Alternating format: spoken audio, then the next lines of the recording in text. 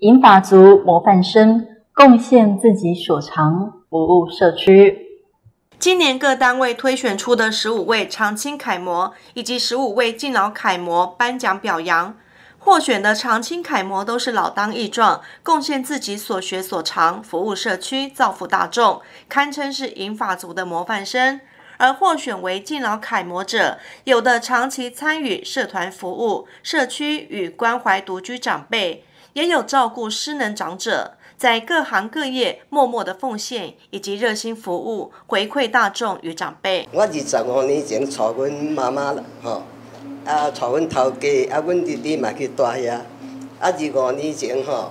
啊小姐叫我做里长，我毋敢做，因为我毋捌字吼，我做干事，啊做到尾手啊，我拢做几工功德啊，做到大做到大啦，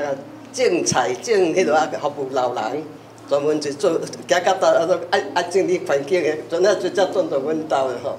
阮住伫市政对面吼，阮也真闹热。啊，因为我遐环境好吼，啊，大家遐主人，大家足好，大家老伙仔吼，我拢照顾老伙仔，吼。无到到阮兜，吼，啊，行到倒做甲大服务，有有种菜、种香蕉，种迄落。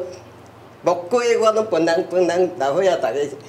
分人食吼，拢逐个安尼有遐起，啊若人加迄个加小阮若去，我拢分人，人也甲我讨，我拢互人吼。啊，阮囝叫我转去吼，我我叫我较早我是带阮妈妈吼，甲带阮头去，即摆阿嬷也无直直吼，叫我转去。我因为住住二五年啊，我毋爱转去，我我住遐吼。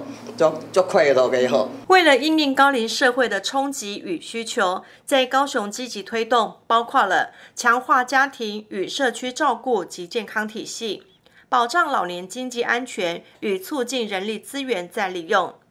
提供高龄者友善的交通运输与住宅环境，